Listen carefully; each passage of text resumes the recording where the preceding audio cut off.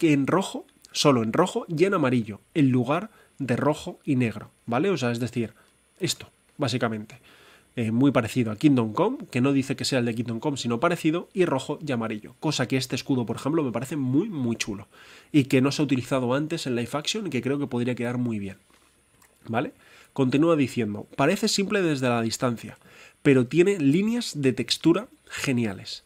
El emblema es suave, no tiene estilo, no tiene el estilo de textura desordenada de Man of Steel.